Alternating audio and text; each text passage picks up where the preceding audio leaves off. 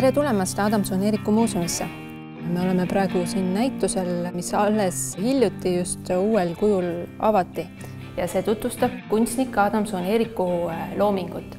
Adamson-Eerik oli üks äärmiselt mitmekülgne ja isikupärase stiiliga kunstnik ja kui te vaatate siin ümberringi, siis on seda ka hästi näha.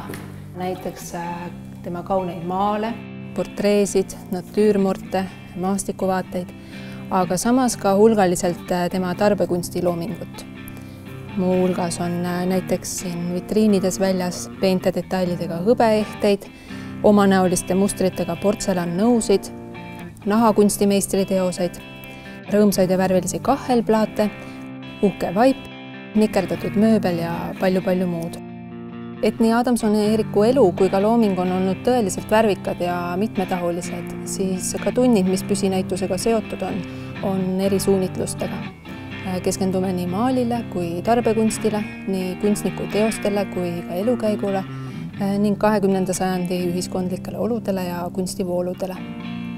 üks uutest püsinäitusele loodud tundidest on Adamson-Eeriku rännakutest jutustav Kodus ja võõrsil selles tunnis vaatlemegi Adamson-Eeriku loometööd just läbi tema elukäigu, keskendudes välisrännakutele, mis kunstniku elus sagedased olid.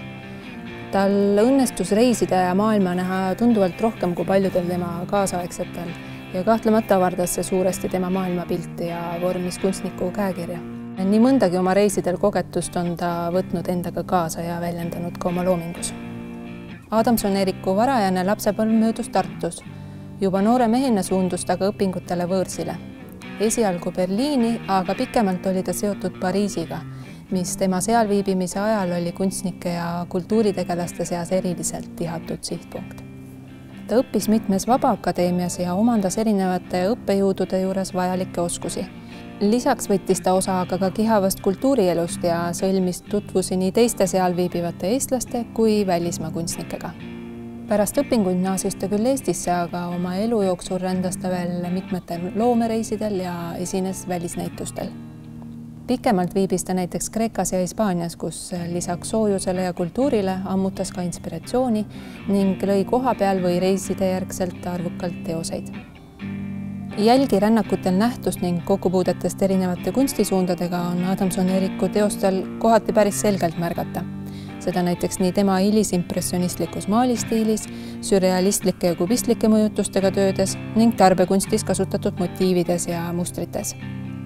Neid samu kokkupuuteid ja mõjutusi uurimegi tunnis koos õpilastega läbi mitmete tegevuste ja ülesannete, mis vanuseastmeti on pisut erinevad. samal teemal on võimalik tellida ka veebitundi nooremate õpilastega valmistame kodus ja võõrsil tunni lõpetuseks enda reisipurgi millesse jäädvustame oma reisimälestused või siis uute reiside soovid. täna on mul selleks siin mitu abilist, kes praegu juba oma reisikogemusi paberile kannavad.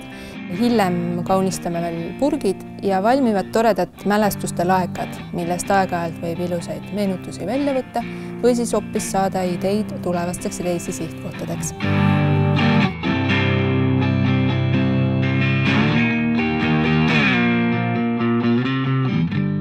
sellised said meie tulemused.